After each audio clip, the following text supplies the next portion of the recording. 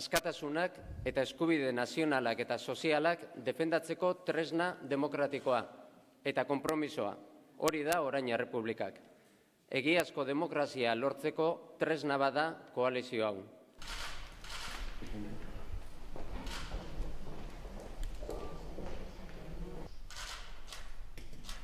Bueno, eskerrik asko, hau da akordio, akordioaren dokumentua, sinatu duguna.